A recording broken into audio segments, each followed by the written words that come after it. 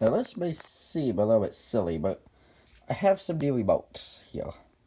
So, first one is an LG Blu-ray remote. That, yeah. Hmm.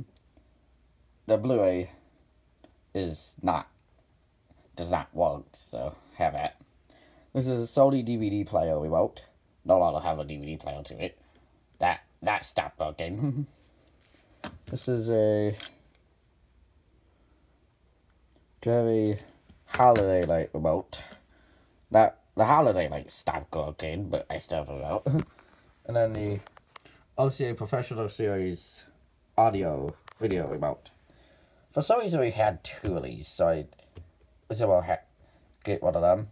And then this one was for another broken device. It's some RCA. I don't know if it's universal or something, but it says VCR and cable audio. JVC AV remote. now this might seem like a silly one, but I decided to do this in my collection.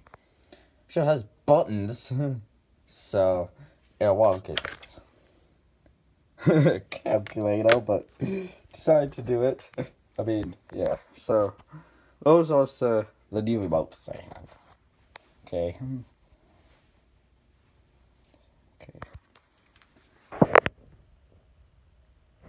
You want to back side of one thing.